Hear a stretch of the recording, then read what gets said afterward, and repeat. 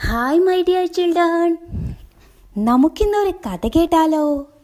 ഇന്ന് നിങ്ങൾക്ക് മിസ് ഒരു കഥ പറഞ്ഞു തരാം. കഥയുടെ പേര് ടു പോട്ട്സ് രണ്ടു കുടങ്ങൾ.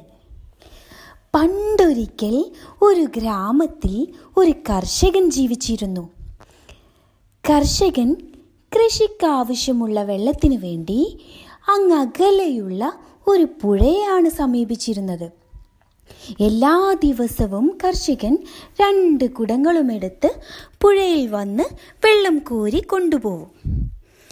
രണ്ട് കുടങ്ങളിൽ ഒരു കുടത്തിന് മാത്രം ധോരമുണ്ടായിരുന്നു പൊട്ടലുണ്ടായിരുന്നു ഒരു കുടത്തിന്. അതുകൊണ്ട് തന്നെ കർഷകൻ വെള്ളം കൊണ്ടുപോകുന്ന സമയത്ത് ഒരു കുടത്തിൽ നിന്നും വെള്ളം ഇങ്ങനെ പോയിക്കൊണ്ടേയിരിക്കും.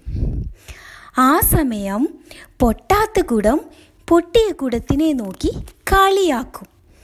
എന്നിട്ട് പറയും നിന്നെക്കൊണ്ട് ഒരു പ്രയോജനവുമില്ല. നമ്മുടെ യജമാനന് നീ കൊണ്ടുപോകുന്ന വെള്ളമെല്ലാം വഴിയിൽ കളയുകയാണ്. ഞാനാണ് യജമാനന് ശരിക്കും ഉപകാരമുള്ള കുടം. നീ ഉപകാരമില്ലാത്ത കുടമാണ് എന്ന് പറഞ്ഞ് എല്ലായ്പ്പോഴും പൊട്ടാത്ത കുടം പൊട്ടിയ കുടത്തിനെ കളിയാക്കും. ഇത് കേൾക്കുന്ന പൊട്ടിയ കുടത്തിന് വളരെയധികം വിഷമം തോന്നും.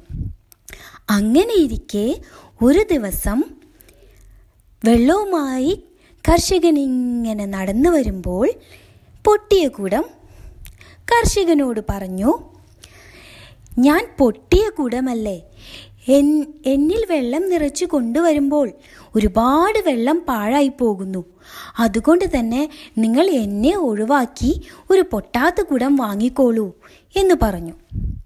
അപ്പോൾ ആ കർഷകൻ പറഞ്ഞു എങ്ങനെയാണ് നീ വെള്ളം പാഴാക്കുന്നത് എന്ന് പറയുക? നീ ഒന്ന് നോക്കിയേ. ഞാൻ നിന്നെ കൊണ്ടുപോയിരുന്ന വഴിയൊന്ന് നോക്കിയേ. അപ്പോൾ പൊട്ടിയ കുടം ചുറ്റുഭാഗവും നോക്കി.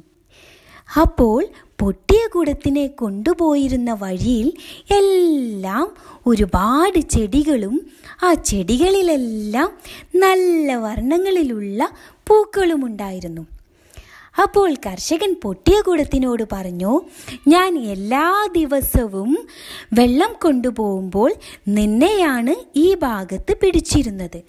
നീ നനച്ചു വളർത്തിയതാണ് ഈ ചെടികളെയെല്ലാം എന്ന്.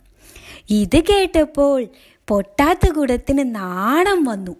പൊട്ടാത്ത കുടം ഉടൻ തന്നെ പൊട്ടിയ കുടത്തിനോട് ക്ഷമ ചോദിക്കുകയും ചെയ്തു.